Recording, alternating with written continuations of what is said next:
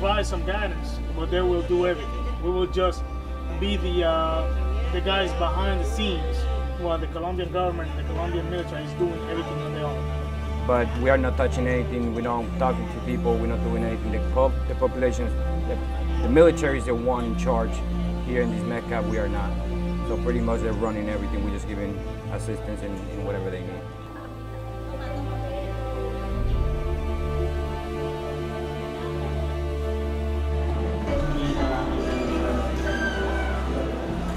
End state of any civil affairs, uh, of any civil affairs mission, any civil affairs program, to uh, is to work ourselves out of a job, is to have the government take care of their own.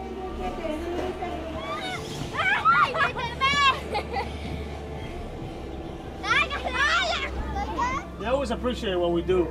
Every time we come to one of these towns, because of the limitations the citizens have, they always appreciate what we do. They always appreciate what the Colombians are doing.